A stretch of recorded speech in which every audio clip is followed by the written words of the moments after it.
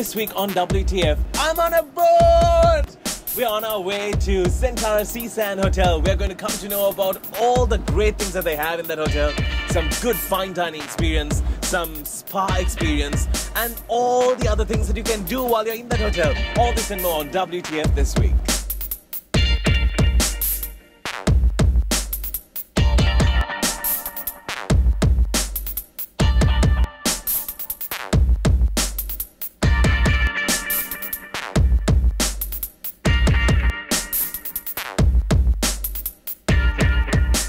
Right now, I'm speaking to Avantha a little bit about the hotel. The best part about this hotel is not such a long, painful drive from Colombo. It's such a quick fix when you really want to get out. Uh, so, Avantha, tell me about how has it been working with this hotel? It's literally like your baby. You walk around feeling proud about each wall that you see. Yeah. Uh, well, Danu, Ceysands was uh, a very well-known property uh, long time back. Mm.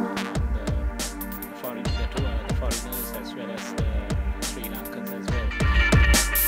Saflogic, uh, which is the owning company, uh, took over the property uh, a few years back and did a full refurbishment program and gave it to Centara Hotels and Resorts, which is a Thai brand. And did a full refurbishment program. We have 165